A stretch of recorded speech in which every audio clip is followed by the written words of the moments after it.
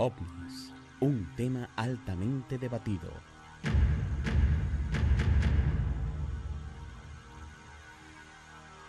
Se levantaba una nave como, como de 8 a 10 pies, volví y bajaba.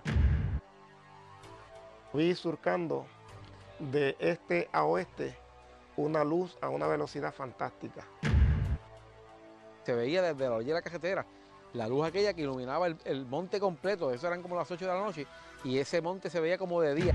Durante las últimas décadas, en Puerto Rico, se han reportado numerosos avistamientos de estos extraños artefactos.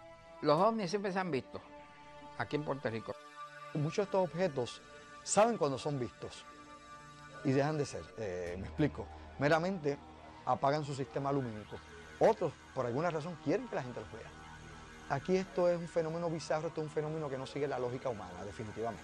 Desde un alegado estrellamiento ovni hasta una supuesta base secreta, junto con testigos y expertos, nos adentraremos a explorar esta maravillosa isla con la esperanza de poder descifrar sus misterios. Pero primero, debemos preguntarnos, ¿esto es real? Parte cierto y parte de lo que también se comenta puede ser que sea de experimentación militar. Esto es real y punto. Y se ha dado y se sigue dando. Los ovnis son tan reales como somos nosotros.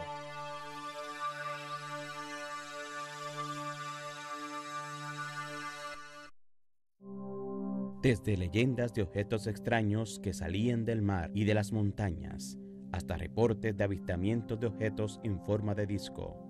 Puerto Rico trae historias sobre actividad ovni. Localizada en el Mar Caribe y parte del Triángulo de las Bermudas, esta pequeña isla mantiene muchos secretos sobre este fenómeno. Puerto Rico prácticamente todito es un área ovni. Más en un sitio, menos en otro, pero es un área ovni completa. Y yo siempre tengo la idea de que Puerto Rico, que dicen que es una de las puntas del Triángulo de las Bermudas, para mí, para mí yo creo que ese triángulo se extiende un poco más. Y yo creo que Puerto Rico está completamente dentro del Triángulo de las Bermudas. Estamos ubicados en una de las puntas del Triángulo de las Bermudas y también en la posición geográfica en la que nos encontramos, entiendo que es un lugar donde hay una de las bases probablemente más grandes aquí de, las Américas, de, de, estos seres. Y al ser un lugar tan pequeño, cualquier tipo de manifestación puede ser vista desde cualquier esquina de la isla. O sea, algo que esté cruzando de Calley, por ejemplo, a, Maricao, lo vas a estar viendo de diferentes pueblos de la isla o aún desde las costas, dependiendo la altitud en que esté. Puerto Rico tal vez pudiese ser también centro de actividad de estos objetos voladores no identificados por la gran actividad militar que por muchos años hubo en nuestra isla. Debido a la injerencia tan profunda que ha tenido en el pueblo, el tema ovni se ha convertido en algo común para la sociedad puertorriqueña. Es una cosa tan grande que está en el folclore de la isla. Ya es comúnmente una cosa común hablar de los ovnis aquí en Puerto Rico. Estos desconocidos objetos han sido avistados en una gran porción de los pueblos de la isla. La costa norte de Arecibo, Atillo, Camuy hasta Guadilla es tan rica o más que la de Laja. En la actualidad se ven más objetos en esa zona que en Laja. Aunque no hay una fecha exacta que marque el comienzo de la actividad ovni en Puerto Rico, el reporte más antiguo fue publicado por la revista Scientific American. En el área de Humacao, eh, al final del siglo XIX, fue avistado un objeto luminoso que sobrevoló el litoral y que no fue identificado como un meteoro, ni un cometa, ni ningún cuerpo celeste conocido. Hay que recordar que en esa época pues tampoco habían artefactos voladores, no habían aviones, aunque ya habían globos, no se hacía ningún tipo de experiencias o experimentos de esta índole en Puerto Rico. Es el primer reporte registrado a nivel oficial. Yo, por ejemplo, tengo casos de los 1920 por allí, investigados, de personas que han tenido experiencia en esta área. No podemos tomar esa data, esa evidencia como la, primera que haya surgido en la historia. Muy probablemente muchos antepasados pudieron haber hablado de esos temas y nunca eh, las mismas fueron eh, redactadas a nivel de, papel o vistas a través de un, de un video. Por lo tanto, no creo que haya una estadística que pueda cuantificar o por lo menos determinar cuándo exactamente comenzaron los avistamientos. Miles de personas se congregaban en diferentes puntos de la isla en vigilias nocturnas, en espera de ver ovnis, lo que se convirtió en un fenómeno social. Era muy común para esa época el escuchar a personas narrar sus experiencias, muchas veces fantásticas, con estos objetos, pero no fue hasta pocos años más tarde que la evidencia comenzó a salir a la luz pública. Probablemente desde el 1940, cuando la nación americana empezó a, crear grandes proyectos de, de encubrimiento sobre este tema, es que entonces se empieza a filtrar un poco de información pública desde el punto de vista que, fuera accesible al ser humano. Pero ya antes del 60 no había ese tipo de información a la mano. Se vino a llenar la biblioteca, la librería de libros sobre el tema después del 60. Willy Durán Urbina investiga el fenómeno ovni desde que tenía 20 años. Ha colaborado para varias revistas tanto en Puerto Rico como en el extranjero.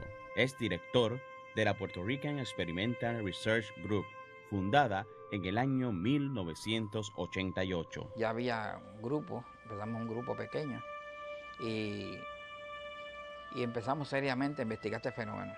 Sus investigaciones se concentran en el geomagnetismo de estos objetos y cómo éste afecta a los seres humanos. Sabemos que las naves, cuando hacen actos de presencia, generan en su entorno un campo magnético. Desde el año 1995 hasta el 2001 realizaron un estudio que demuestra los diferentes puntos geomagnéticos que tiene la isla y los lugares en donde han sucedido incidentes ovni. Cada 12 años surge un nivel de avistamiento en algún lugar de Puerto Rico. ¿Ve? Y después se propaga en toda la isla. Willy Durán comenzó a investigar este fenómeno a partir de una experiencia que tuvo para los años 60. Para él, esa experiencia fue un impactante. Yo vivía en una organización recientemente hecha y como a las 2 de la tarde yo noté que había una luz como si fuera de neón la parte afuera de mi casa, pero era tan fuerte que penetraba por dentro de la puerta. Yo decía, pero ¿cómo puede esa luz tan fuerte? Muy fuerte, demasiado, que casi no podía ni ver. Inmediatamente salió afuera de su residencia y observó lo que él llamó una nave enorme. Estaba a una altura como de 50 pies más o menos. Era enorme. Del objeto salían unas pequeñas esferas que al caer al suelo desaparecían. Él se comunicó telepáticamente con los tripulantes del objeto y le pidió poder quedarse con una de las esferas. Decía que caen al piso tendrían que desaparecer. Y después déjenme de esta bolita para tener evidencia de que yo tuve, tuve este, con ustedes una conversación. Pero ellos se negaron a su petición y le dijeron que en otra experiencia ellos le iban a dar la evidencia. Entró dentro de mí una inquietud enorme de prepararme para ese momento, ¿verdad? Eh, para mí fue impactante esa experiencia, porque fue vivida, fue de, no fue un sueño, fue vivida de pie. Sin embargo, hasta hoy, esa evidencia aún está por verse. Y, y todavía la estoy esperando. Todavía estoy esperando ese, ese momento de, de ese encuentro, ¿verdad? De que ellos me den una evidencia contundente.